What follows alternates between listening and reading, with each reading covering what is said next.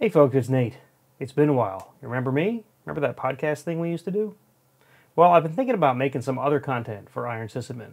You may have seen some blogs about it. So I've been thinking lately, a lot of times folks like me that have been in this for a long time, they kind of forget what the newbies need to know. They kind of forget what it was like to be new, and uh, they kind of forget what they have in muscle memory, right? Because you just sort of assume it's a certain base level. Well, I've decided I want to start making some content for that base level. So tonight, we're going to go through and we're going to install Fedora. Just like plain old, nothing crazy. We're going to take my Alienware machine, which I bought about two years ago. The gaming rig, obviously, it's an Alienware. Um, I use it primarily for media production and gaming, and I've always wanted to put Fedora on it, but I've never wanted to sacrifice the space. So recently, I picked up an, an internal hard drive. It's not in there. It's in the machine already. And I'm going to put Fedora on it. And I'm going to show you how to take a Windows 11 machine, install Fedora on that secondary drive, and still retain dual boot. So you can still get back to Windows if you want to. It's a perfect situation for folks who are brand new to Linux and really just don't know where to get started. They don't want to give up that familiar Windows desktop. It's a big step to jump straight on into Linux in a whole new environment. So tonight, I'm going to hope I'm going to hopefully show you a little bit about how you can keep that safety net, but still experience something new and I think awesome with Fedora. Which Fedora, by the way, not a bad desktop. I've been using it for years, not because I work at Red Hat, but since long before. I was a Red Hat Linux user before Fedora existed. When Fedora Core came out, I moved along with them at around Fedora Core 2, and I've been a Fedora user ever since, long before I was ever a Red Hatter. It's a great desktop. All right, I've talked enough. Let's get started. All right, so we're going to see how well this works. Um, I'm currently, I've got the output of my desktop into OBS, and that's the only way I can see its display is through OBS. The first thing you're going to need is a USB stick to put the uh, installer for Fedora on. Okay, uh, that's actually easier than it sounds. You go to the Fedora Project's website, which I think is just fedoraproject.org. And on the Fedora Project website, you want to download the Fedora Media Writer.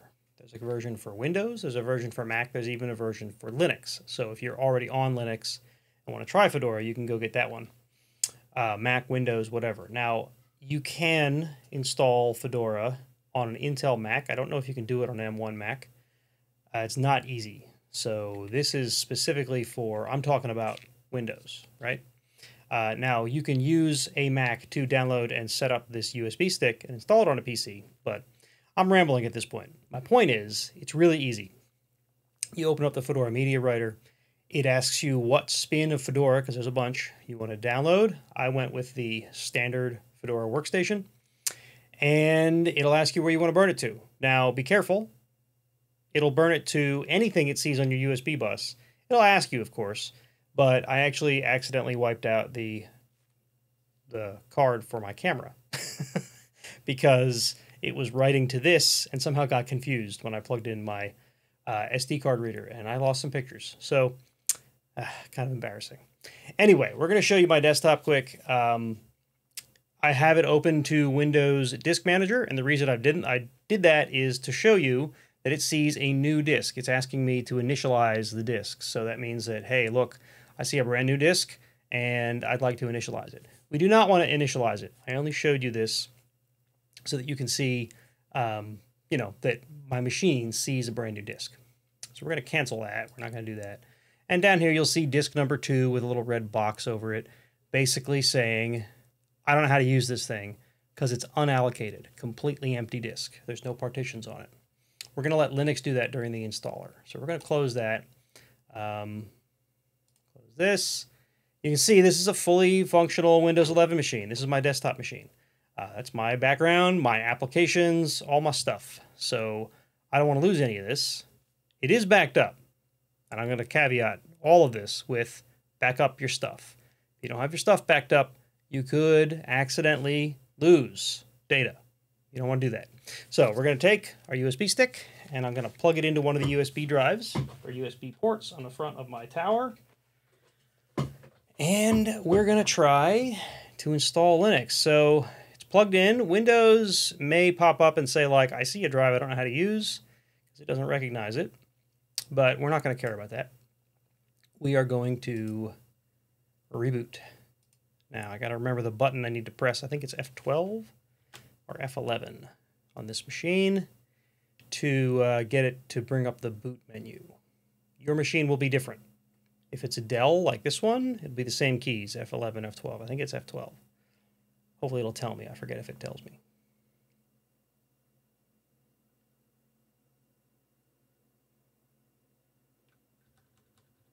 I'm going to start hitting F12 like now. I think I saw it say boot. There we go. Now this is a UEFI boot menu. Um, most modern machines are UEFI, so you'll probably have something similar. Wow, this is really responsive mouse. We're going to go USB 1 UEFI OS SanDisk. I know that's the brand of my USB stick, so that's how I know this is the right one to pick. Yours will obviously be different. Now, this is impossible to read. Uh, it's going to ask me, I know what these options say. Uh, hopefully in the video they're easier to read. But basically there's two options here. One says test media and install, and the other says install. I'm going to do test media and install just so you can see what it looks like. It basically does a signature check, GPG, not GPG. Um, what's the word I'm looking for? It does a checksum test against the install media before it starts the installation process. That way you know that it is clean and it's ready to go, right? Not only has it not been tampered with, does it say failed? Error. Okay, we're going to try this again. We're going to skip the media test this time. I have found the media test to be finicky. If this won't boot, then we'll know there is in fact a problem with the media. I know the media is good because I downloaded it right from Fedora just earlier today. Uh, the question is going to be whether it's in some way corrupt, but we'll see what happens here. Okay. This is kind of a cool feature of UEFI. It takes your UEFI boot splash and it, it puts it into the boot screen for most Linuxes, not just uh, Fedora. Looks like it's booting though. Let's give it a second. There we go. Now what this is going to do is going to bring us into a live USB environment for Fedora.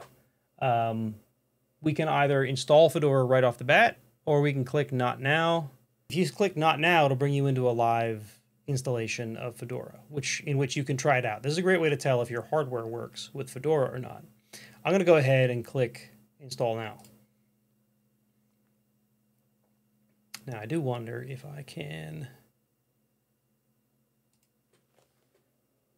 bring up settings and increase my, change the scaling to 200 and see what happens. Oh, that's so much better. I can read. I can see now, guys. You have no idea how hard that was to read on this little screen. Maybe you do know. Maybe it's just as bad in the recording. I don't know. Okay, so we're going to go English and hit continue because I speak English, obviously. They don't have an option for bad English. Otherwise, I'd pick that. All right, installation destination. This is, you know, where do you want to install to? Now we're going to see. That's the NVMe. I don't think it sees my drive. It's not showing me the Western Digital drive I added. All right, we are going to cancel this. I think there's a BIOS setting, some sort of like um,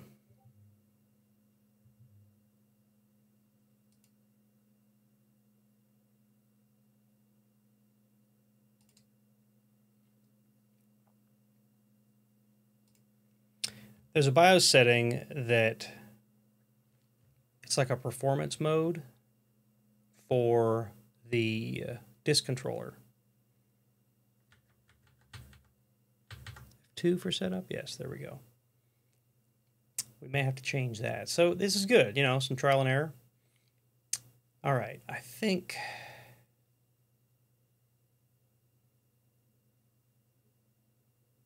Advanced, maybe? It's hard to work with the mouse here virtualization, integrated NICs, SATA operation, RAID on. Is that the problem?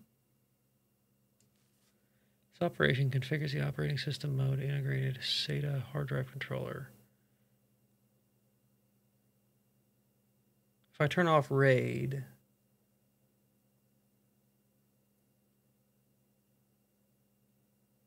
is this the SATA?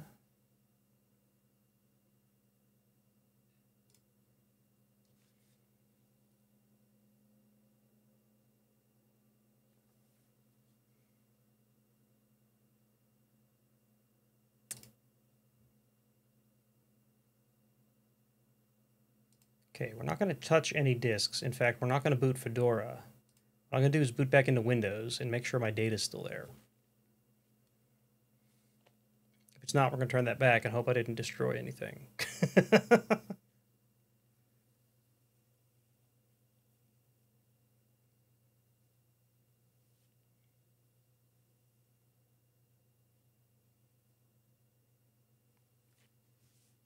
So the way this machine is configured, there's a onboard NVMe drive. That's where Windows is installed. It's the fastest option, right? Windows boots ridiculously quick because of it. There's a secondary SATA drive, which is a spinning disk, and that is used for longer term storage, large things, things that don't require the speed. Those are both used by Windows. I've added an SSD to the SATA bus. The SATA bus is what that was just talking about. So what I want to find out now is, if I log back into Windows, let's make sure that my D drive still shows here. If it does not, then I got to turn that option back on, and we may be stuck.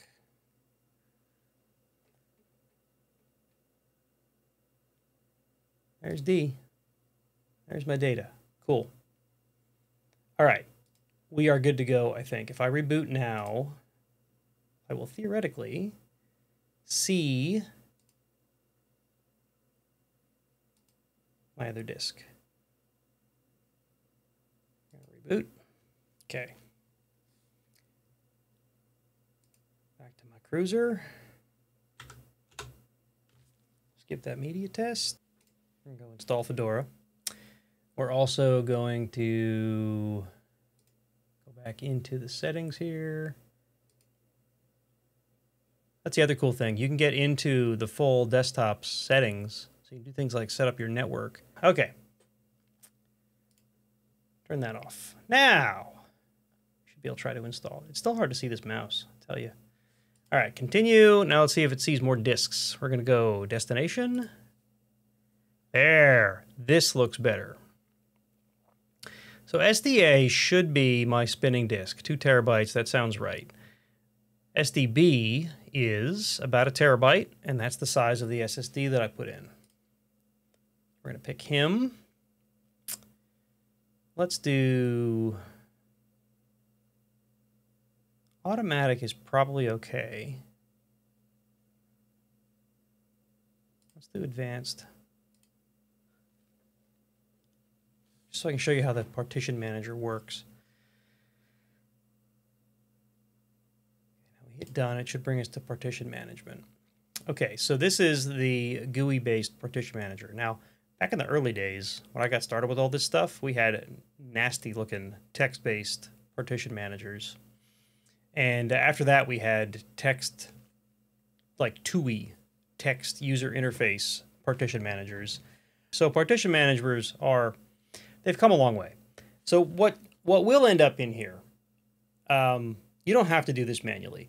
There are reasons you might want to do it manually, but for just like a desktop that you're just going to sit down and learn Linux on, it doesn't really matter that much. If you're building a server, that's totally different. There are cases where you absolutely want to have separate partition layouts. We're going to make a UEFI partition. I guess this is a good learning experience. Okay, so let's make a partition table, GPT, that's cool. UEFI likes GPT. Now we're going to make a partition ext4. if we have to label it for this. Actually, I want to make it a UEFI partition. EFI system partition. I forget how big that needs to be. Does not need to be a terabyte, that's for sure.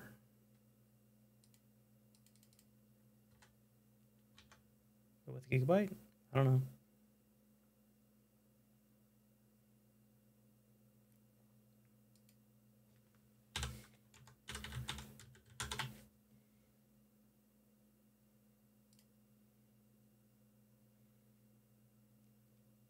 Okay, then we need to make a boot partition.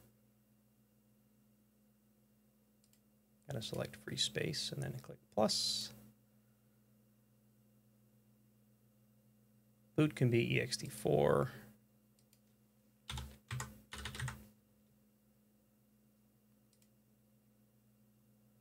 And then it's usually good practice. Oh, it made it the whole terabyte, didn't it?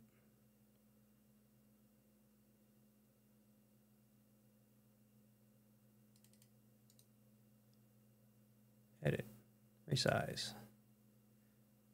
This device cannot be resized. okay, then we will undo the last action.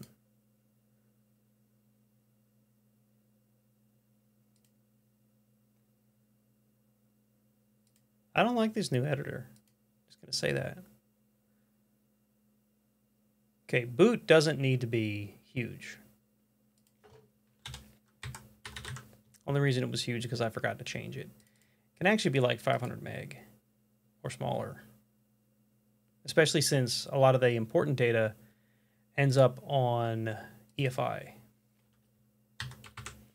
And unless I'm mistaken, this will warn you if you make it too small.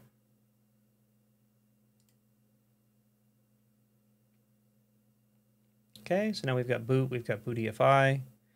Now we're going to make a volume group for the rest. This is kind of best practice. Uh, in my opinion, it's best practice. Uh, we're going to change this from partition to LVM volume group. And we're going to let it be the whole size of the disk. And we're going to call it, my machine's name is Escanor. We'll call it VG Escanor. Common practice is to put VG before your volume group names, just so you know it's a volume group when you're looking at storage later. Um, I'm not going to bother to encrypt it, but just know that you can if you want to. We're going to hit OK. All right, now what we should be able to do is within VG Escanor, make logical volumes. If this works the way it's supposed to work. How do I make a logical volume? That's LVM. do I have to go here? There we go. Now we can make a logical volume within. So you see over here on the side, a volume group shows up in a lot of different interfaces as like its own disk because it essentially is. It's a logical volume, right? Just like a disk is a volume. So now we can make logical volumes within the volume group, right? A volume group is a logical volume group. So we're going to make a logical volume.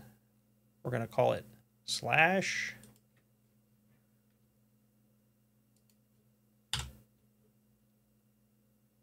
We're going to call it lv underscore root. What this should do is it'll put all of the rest of the disk allocated to slash, which is the root of your file system. Now, the way this works, this might be a little confusing, right? What are these mount points? What are these names? Linux, so Windows treats all of your drives as drive letters, and within there, there's a directory tree. Uh, Linux treats it a little bit differently. Instead of having a drive letter, there's a root volume slash. Everything beneath that is a directory or a file. Everything, devices or files, everything's a file disks get mapped into directories within root. So slash is now this whole this whole volume is going to be slash. Boot, if you remember I made a volume for boot, that's where it stores boot configuration and boot information. That is going to end up in slash boot. Now slash boot is not files within slash, it's files within the disk that I've assigned to the mount point slash boot. Slash boot EFI is yet another partition. So within slash boot, you'll find another folder directory called EFI, and that'll be that other device, right? And there are ways to tell whether a folder or a directory is a device or not. We're not going to go into that today. Uh, but just realize that that is sort of the structure. Instead of having drive letters, it's a lot more like Mac OS. Mac OS treats them in a similar way um, although you can see the separate volumes and whatnot within macOS. But macOS, at its core, is a Unix slash Linux base. It's BSD, I think, technically. All right, we're going to hit OK. And what this should do is it'll make VG root. If you were making a server or you had specific use cases, you might make slash var its own partition. You might make slash law or slash var log its own partition. You might make slash root its own partition or slash home its own partition. There's lots of reasons why you would do these things. I'm trying to keep this simple. It doesn't need to be that isolated for this particular use case. There's performance reasons you might do it. There's security reasons you might do it. None of those are valid on this particular machine. So, all right, we should be done configuring the disks. So we are going to now click done. It should no longer give me an error. If it does give me an error, it'll give me an idea what I need to change. Oh, error. Okay, click for details. What do you not like? Failed to find a suitable stage 1 device EFI system partition, but I made one. Must be mounted on boot EFI. Oh, lowercase EFI. So we'll go back to disks over here, SDB. Remember we made boot EFI. We're going to edit this guy. Edit mount point. And it's boot lowercase EFI. Set mount point. Now if we click done, let's see. Still a problem. What do you not like?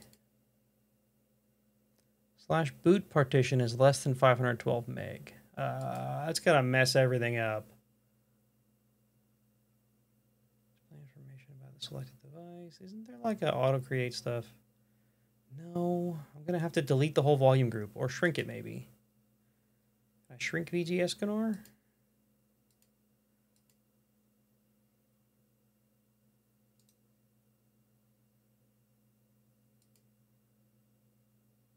Why can't it be resized? Format scheduled to be created cannot be resized. Okay, well then we'll delete it. We'll make it again. Now the reason I think it's best practice to make a volume group is volume groups take physical disks and sort of split them up. Or I should say makes them, makes them virtual, uh, which means you can extend them later or you can change them or resize them.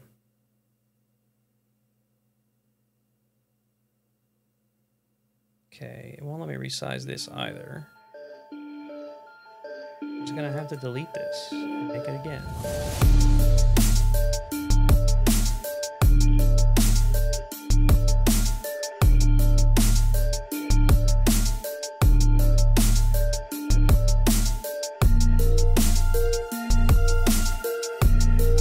Now, theoretically, we will no longer have, oops, come back here errors. Let's see. Moment of truth. There we go. Okay, so this is this is confirming all the changes that are about to be made to the disk. We're gonna go accept.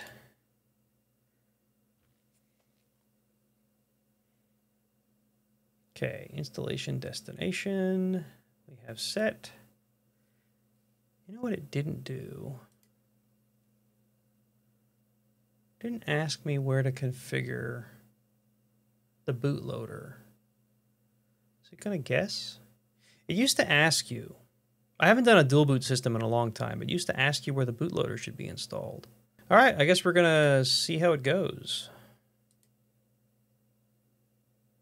Yep, accept changes. All right, let's make sure it's not touching.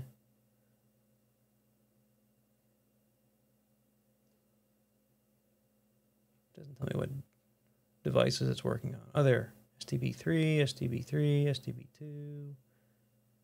WD blue, yep. Okay, accept changes.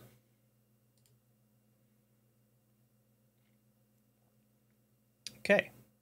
Date and time is already set to New York. It should automatically use NTP. Yep. So that's good. We're going to hit done there. We should be good to go. Keyboard's already set up for US. Begin installation. Now what this is going to do is it's going to lay down all the basic um, packages that come with Fedora. Um, it used to be that it let you go through this whole process where you could pick what packages you wanted installed and whatnot. Now it kind of turns that around. And what it does is it lays down the basics, uh, gets you a desktop environment that you should be able to boot into. Once you're booted into it, you can then tell it uh, what things to install by using the software uh, app, right? The packages app. And that goes and gets it through DNF, which is the package manager that comes with Fedora. So I'm going to sit here and be quiet so that we can speed this up, and I'll be back in a minute.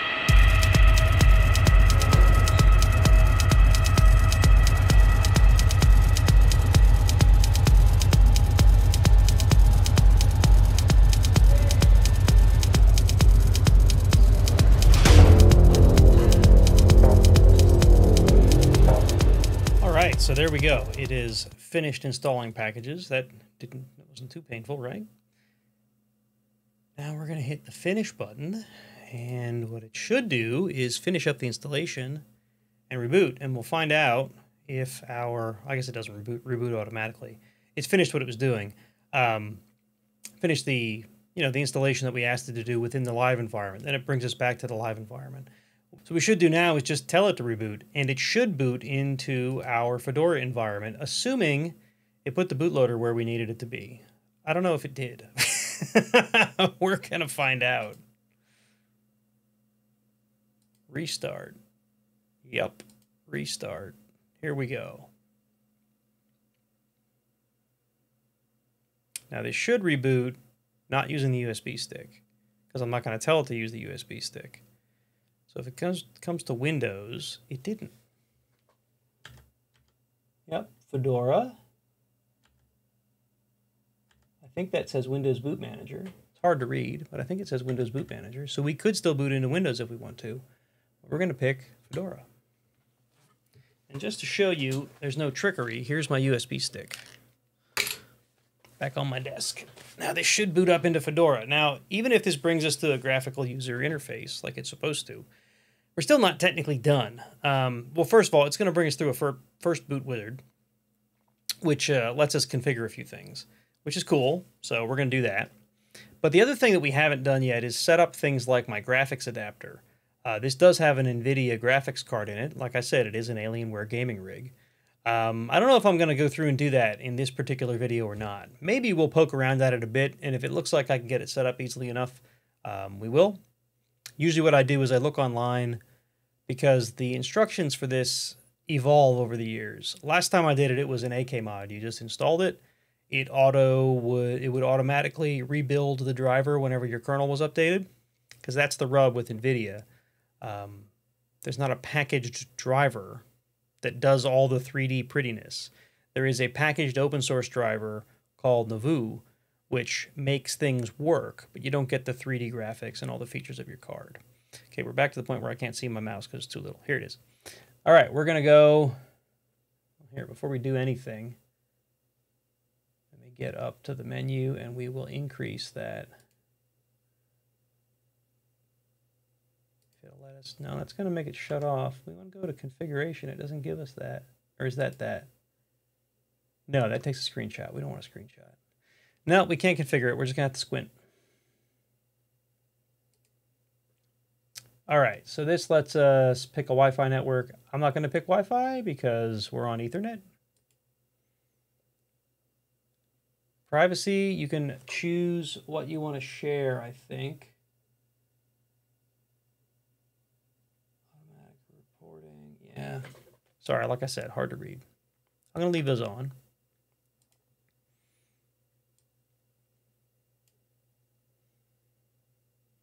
Third-party repositories. Let's let it turn those on. These will be extra package repositories that will let us install extra things like that NVIDIA driver that I was talking about. You don't have to turn them on if you don't want to. But there's that like uh, VLC. VLC is a good one. In the past, it's always been that VLC that comes with Fedora doesn't have all of the plugins that you want. VLC from third-party repositories will. Fedora is very strict about including only software that is fully that is licensed in the proper way. And by proper, I think it's GPL and maybe a handful of other licenses. If they're not licensed in that way, then Fedora doesn't include them.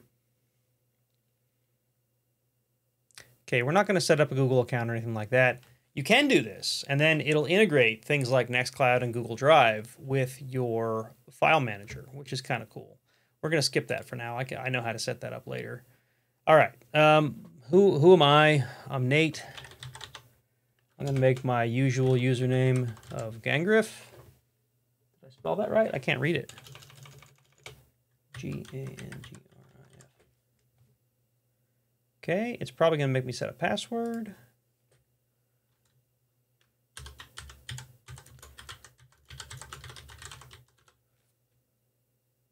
Okay, I hope I typed that right because I'm, well, here, I'm going to show it so I can read it. Now, this new way of doing this, notice it didn't ask me for a root account. That's because root is locked. Root, if you're not familiar, is the sort of the operator, the systems administrator, the the God account on any Linux box. The default for Fedora and many other distributions nowadays is that the root account gets locked.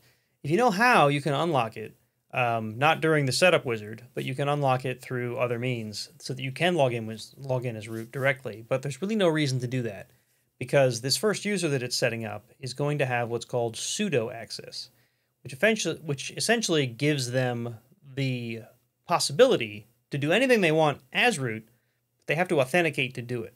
It's sort of like on Windows when you have to click that button that says run this run this as an administrator or yes, allow this. What does it call that? UAC, user access control. Um, except it's a different mechanism, but the same concept. All right, so that should be good. We're going to hit next. All done. Start using Fedora. And here we are at our desktop. Welcome to GNOME 44. Uh, we're not going to take a tour. You can take a tour if you want to, if you're if you're doing this.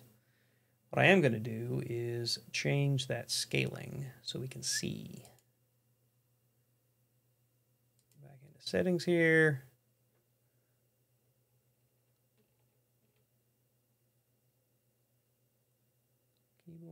Displays, scaling 200%. That's better. Keep changes. Now I can see. I'm going to get a headache from doing this, I'm telling you. All right, so now if I were to open up Firefox, I should theoretically already be online and ready to do things. Yeah, Firefox privacy notice. Now we're going to look up on Fedora 38. That's what we just installed.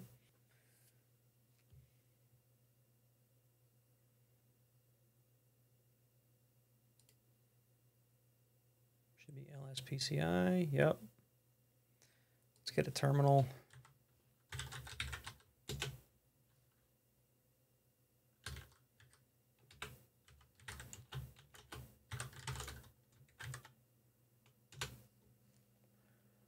NVIDIA Corporation GA186.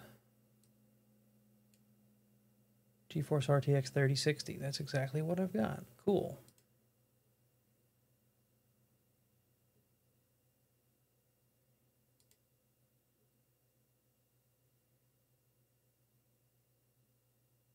GeForce 2 through GeForce 4. That's funny. Yeah.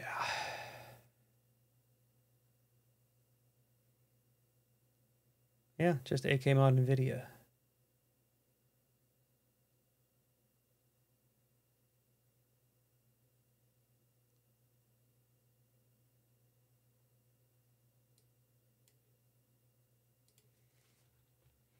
So this is what I was talking about with sudo at the command line, you just preface your command with sudo. So sudo dnf install akmod dash NVIDIA.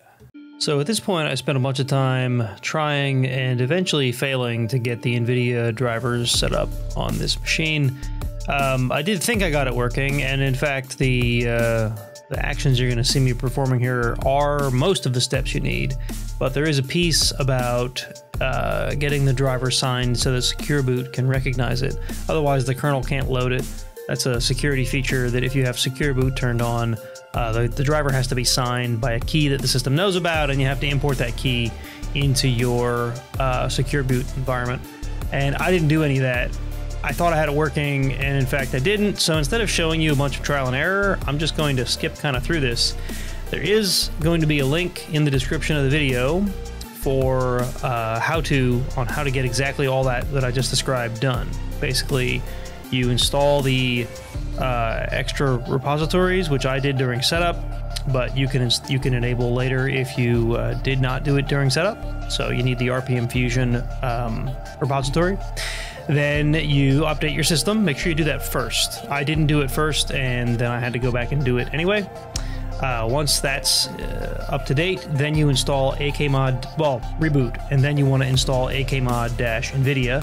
What that'll do is it'll build a, uh, it'll build the driver once it's installed. It basically gets like a source chunk, and then it'll let you build that driver uh, from source against the kernel that you're running, which is why you need to update first once you have that running, that's when you have to go through and do the piece where you're signing the driver. And like I said, I'm going to put a link to that all in the description of the video here. So uh, instead of going through what I just described, just follow the how-to, and that'll that'll get you set up.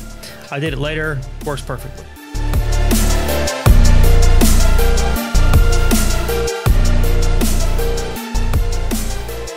Now that we have the system up and running, uh, why am I here? Like, why do I care about Linux?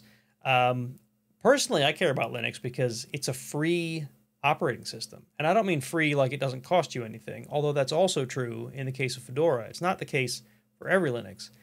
What it does mean is um, it's free as in freedom, which means that all of the software that's included with Fedora is open source. And you can go find a copy of that code you can go commit changes to that code. Um, you can basically be involved in communities that help affect change for your particular operating system. That's power and that's freedom, and that's pretty awesome. You should be excited about that uh, in the same way that I'm excited about that.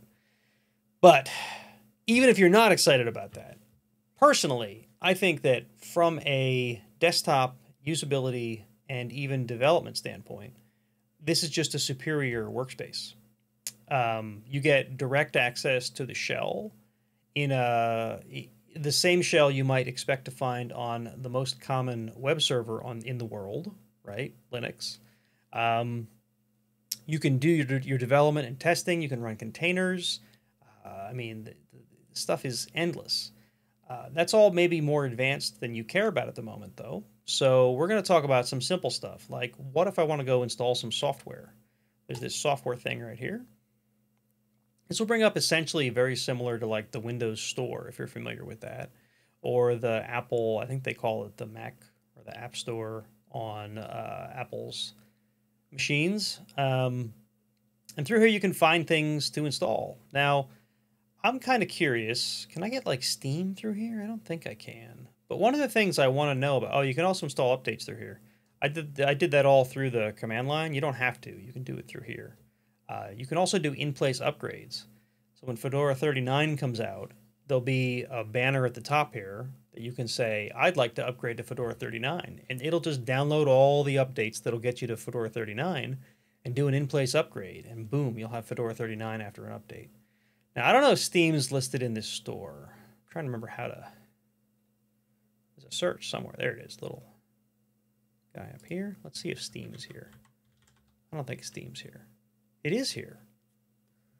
Steam link, Steam launcher for Steam. Coming from RPM Fusion, let's install Steam. One of the reasons I wanted to do this on this machine is because because I've got a laptop here, a framework, which runs nothing but Fedora. This is where I do most of my like Linuxy stuff. I even connect this to this monitor that I'm currently doing this recording through uh, so that I can get a decent sized desktop. But I can't game on this. This doesn't have a 3D graphics card. I'm really curious if I can game on Linux now. It's one of those dreams I've always had. 20 years ago, when I was gaming on Windows, I really wanted to game on Linux, and I couldn't because the industry wasn't there. Um, Steam on Linux, Steam on the Steam Deck, Steam with Proton, has opened up so many doors for gaming on Linux. And I've ever since I got this Alienware, and I've I've wanted to put Linux on it specifically because I want to see what the state of gaming on Linux is today. So anyway, that's why I've chosen to install Steam here. Not only as an example of things that you can install, but um, because I wanted to install Steam. It's going to take a little bit of time. Now, it doesn't give you much output. I don't know if we click on this, will it? That'll cancel it. We don't want to cancel it. Be nice if we had some debugging output so we knew what was going on here. If I click back, does it cancel it? I hope not. Where did it go? If I go back, is it still going? I don't usually use this thing. Oh, there we go. It's still going. So we can browse around while it's doing this. So, um, I don't know. What if we want an office suite? Let's go to work. This may not work because it's in the middle of doing something. I don't think it's going to work because it's in the middle of installing Steam. Okay. We'll stop trying to ask it to do things. There. Oh, did it finish installing Steam? These are all the things that are already installed, which you can remove. I mean, you can remove anything, right? If you're on Linux and you're like, I'm going to remove the kernel, it'll let you. Maybe you've seen the memes. There we go. Steam. It's installed now. We're going to try to open it and see what happens. Steam setup. Sweet.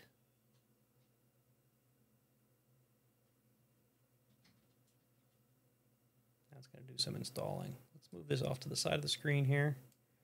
I'll go back to showing you uh, software packages and whatnot. Go back to Explore. Like I said, what if you want like an office suite? May have already, oh, GnuCash. That's like a finance suite. I haven't used it in years. I use an online thing now. LibreOffice, that's already installed. Let me show you LibreOffice. Um, LibreOffice is basically an open uh, Microsoft Office alternative. So let's go LibreOffice Writer. So you might be wondering like, oh, I want to do some word processing. This looks just like classic Word before they went to the, the ribbons layout that they have in Microsoft Office nowadays. Now you won't get things like Exchange, but to be honest, not Exchange, Outlook is what I'm looking for. But to be honest, most of that stuff's done via web applications now anyway. All of that works just fine on Linux, the same as it would on um, on Windows, right? So if I were to fire up Firefox down here, I get the same experience in Firefox as I would have on a Windows machine. So I'm not going to go so far as to log into my Firefox account, whatever, but I don't know. You can go to Google. That seemed weird. There, it's loading Google.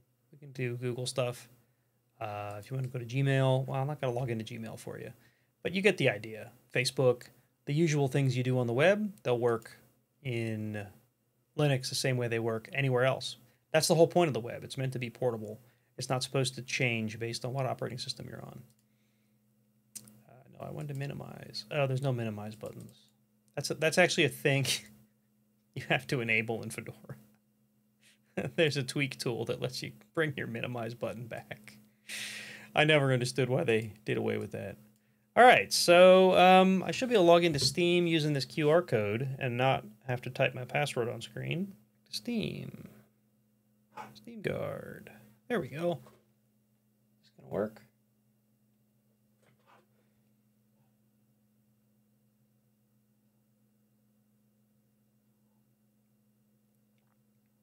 There we go.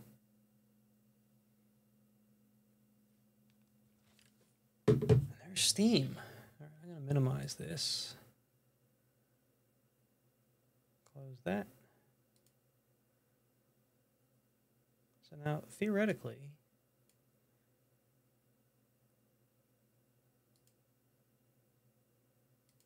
I don't know, let's pick a small game and install it. Local drive, install. I just want to see if this works, to be honest. I'd be super stoked if it does.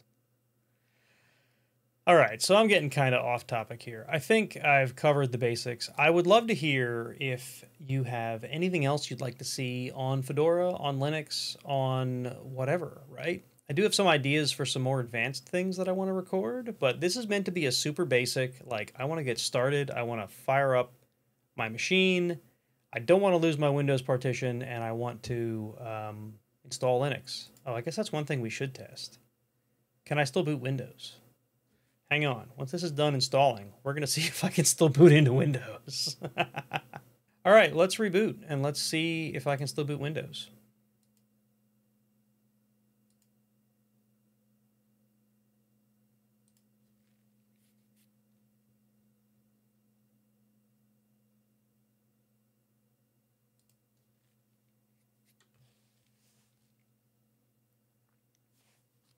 Now what should happen is that boot manager should come up, that little text window that was that I was editing before. We should be able to just select Windows Boot Manager. Is that what that says? Windows Boot Manager. Cross your fingers. This looks promising. Spinny thing.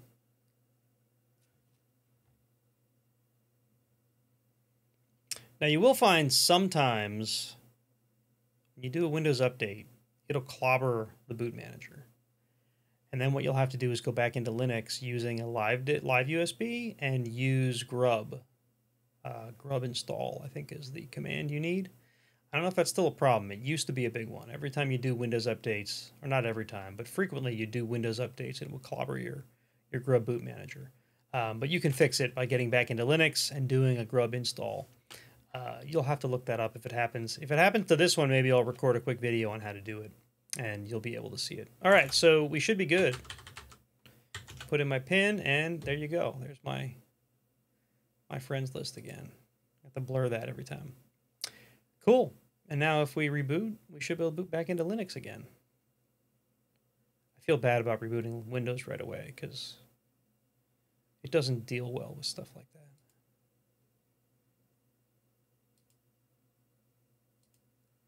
Let's restart. It should, by default, take us to the Linux uh, option. You can change that default. It's in your grub config. It's all text-based. I don't think there's a GUI to let you change that yet.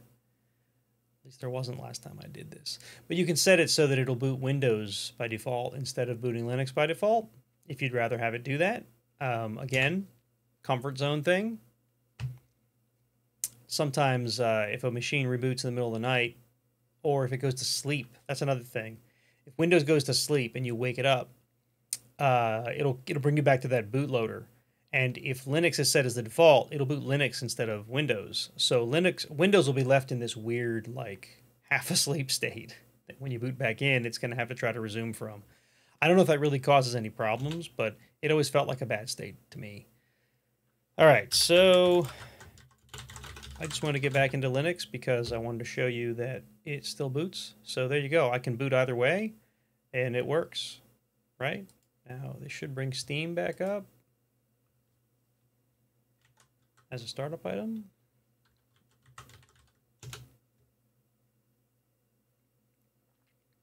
I am going to let Steam sync and see if I can play some Valheim. All right, so back to, oh, it detected my VR headset. That's awesome. Awesome. That's one thing I was worried about. I didn't know if I'd be able to play VR in Fedora. I have a friend who's been, who's going through this right now. Is what maybe what put it in in my brain to go buy this hard drive. Um, well, you might remember him, Uncle Mark from the show. Um, so yeah, I I may try out VR at some point on Linux. That would be super awesome. Go ahead. Install Steam VR. All right, so I hope I hope you have found something informative in this video. It's going to be a nightmare for me to edit this thing, uh, to try to cut it down to something that I feel like is useful because I probably have an hour and a half of footage at this point. But uh, I hope you have enjoyed the video. Hope you learned something. Let me know if you have any questions or if there's anything else you want me to try to cover in a future video. I do have some more advanced things in mind that come down to like identity domains and stuff on Linux. If you're a new user and you just have questions, feel free to ask. I've been there. I've been through a lot of this stuff, and I would love to help you, and I'd love to answer questions. So reach out. Let me know. Either comment below or go to ironsysadmin.com and try to reach out to me that way. And until next time, I guess, uh, you know, have fun at the Linux command prompt, and I'll catch you next time.